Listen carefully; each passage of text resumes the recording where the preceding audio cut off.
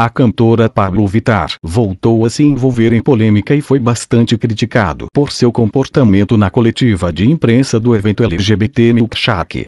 A cantora, apesar de estar em um local para dar entrevistas e falar sobre o evento que acontecerá em São Paulo, dia 2 de junho, na véspera da parada gay paulista, acabou destratando os jornalistas presentes ao lado de Preta Gil, Vanessa, Gretchen, Glória Groove, Simone e Lia Clark. Pablo foi ao evento de lançamento do festival para dar alguns detalhes sobre a festa que será votada para o público LGBT ostentando uma camisa branca e uma bota de cano altíssimo, chegava na altura da virilha, de fundo rosa e estampada com o desenho do rosto de uma mulher loira de olhos verdes. Pablo foi cercada pela própria assessoria que não permitiu que ninguém se aproximasse.